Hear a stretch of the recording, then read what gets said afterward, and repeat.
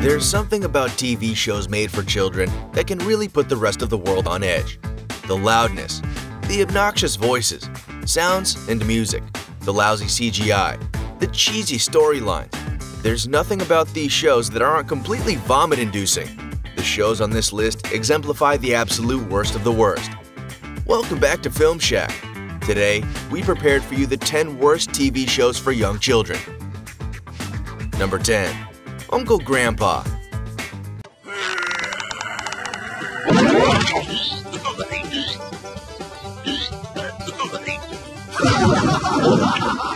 Although Uncle Grandpa is a cartoon, it isn't appropriate for very young kids.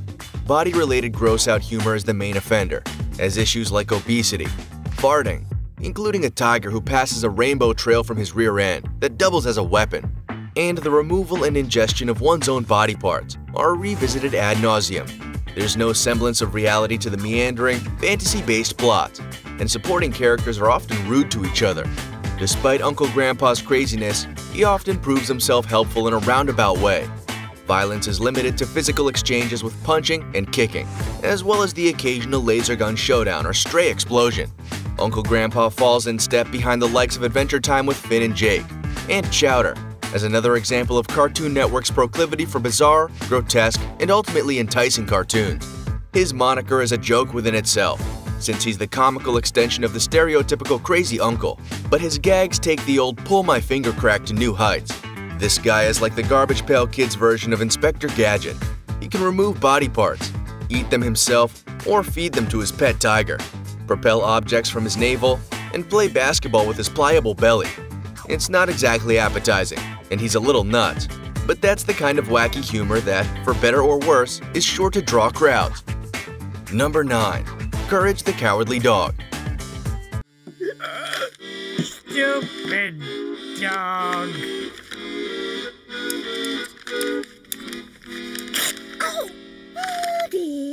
By its very nature, Courage the Cowardly Dog is a show that isn't exactly meant for all kids. A surrealistic adventure series with horror and supernatural elements. Courage revolves around the life and struggles of the titular scaredy dog. This show isn't afraid of exposing kids to any kind of horror threat, including undead horsemen, demons, living puppets, and even a zombie version of Quentin Tarantino. Yes, really. It also doesn't shy away from blood and guts levels of violence, which make the series even scarier for younger viewers. But as you get older and you're exposed to slasher movies and blood and guts on series like The Walking Dead, Courage starts to feel a little ridiculous, not only because of its weird blending of sitcom and horror, but also because of the dated animation style used in some of its experimental CGI scenes. Courage might have been a good show once, but time hasn't done this dog any favors. Number 8. Dora the Explorer Row, row, your boat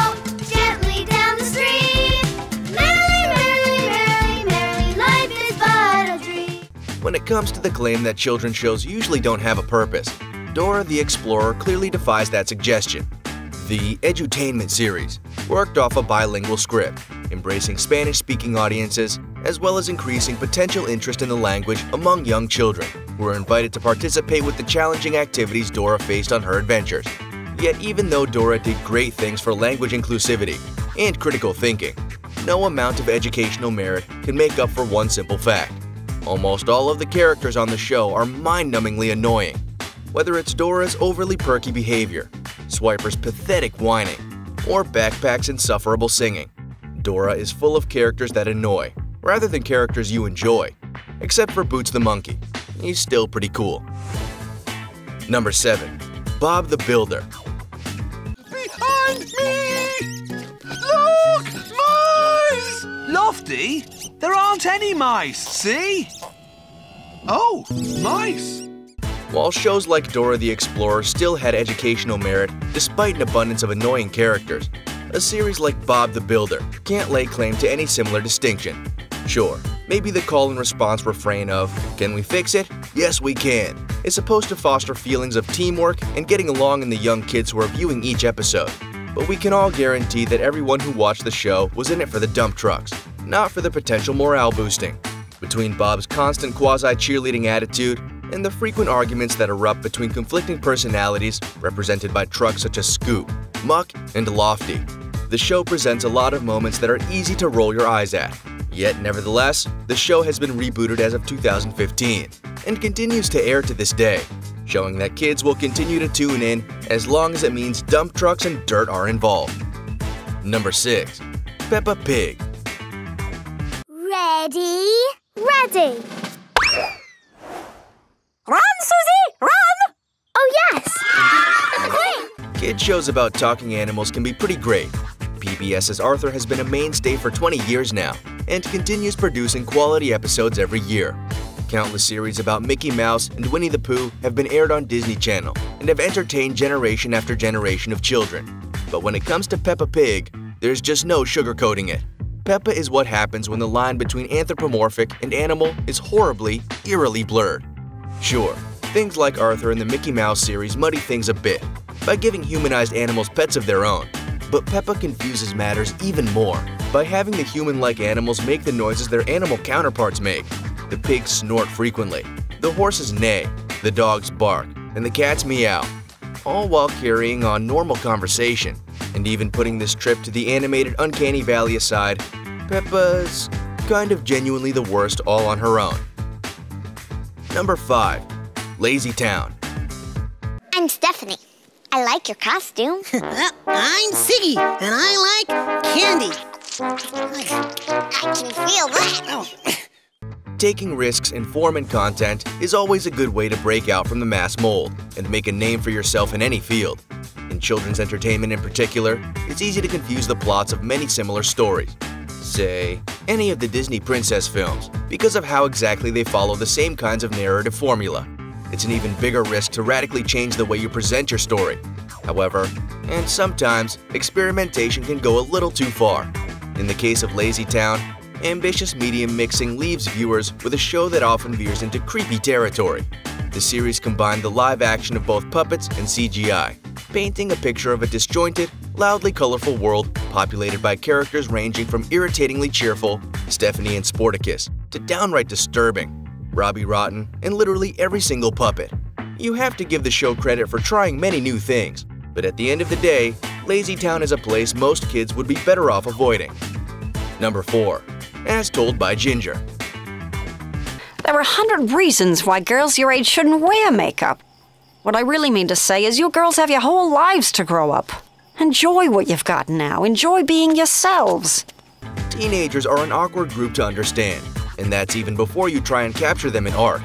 While most live-action teen dramas are criticized for not providing accurate representations for young viewers, animated efforts starring teenagers have similar, unenviable obstacles to overcome.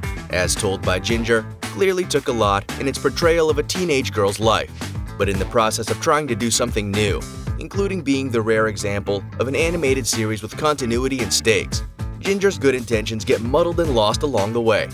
The primary narrative concern of the series is Ginger's, as well as her friends', ability to navigate from the world of uncool nerds to the higher echelon of popularity. As a result of this particularly shallow pursuit, some of the series' episodes trend towards soap opera-esque topics that a show like Degrassi explored in spades, such as overwrought breakup plots, backstabbing friends, and addiction, none of which seem exactly well suited for the target audience. Number 3. Caillou Caillou, why don't you take Gerald today? So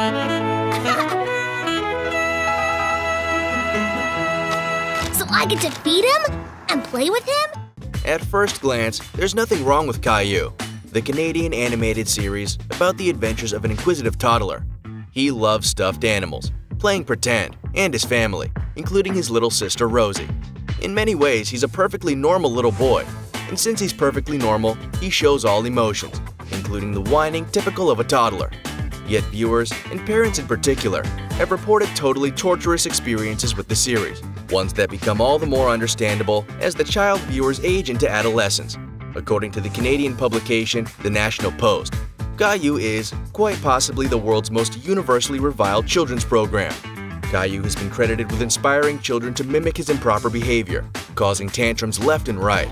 But maybe the real reason why children are acting this way stems from the fact that they are being made to watch the show at all. Its slice of life stories are generally quiet and not exactly engaging for the kids who are meant to watch. Number 2. The Amanda Show.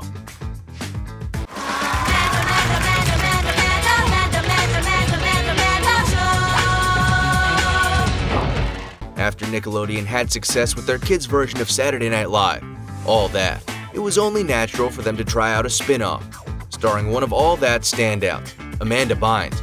But while All That was a critical success, running for 10 seasons on Nick, with a wide ranging and diverse cast, The Amanda Show failed to live up to its predecessor in every measure. The series added an unnecessary show within a show component that only confused the format of the variety series into something sitcom esque. Further, Amanda only ran for three years before Bynes went on to pursue a short lived career in movies. But perhaps the most important and damning of all, Amanda's much smaller and less diverse cast of regulars never gelled together in the way that all that's core performers did, except of course for Drake Bell and Josh Peck. And if the lasting legacy of the Off Kilter The Amanda Show is that it made Drake and Josh possible, then maybe that's all it was really meant for. Number 1. The VR Troopers Girls shouldn't be taking karate. They should be home playing with dolls. Oh, really?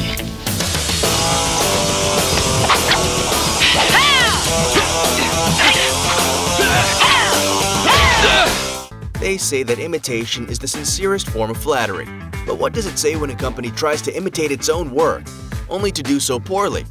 The short-lived series VR Troopers, which ran from 1994 to 1996 in syndication, was one of Saban Entertainment's attempts at profiting off the incredible popularity of the Power Rangers franchise.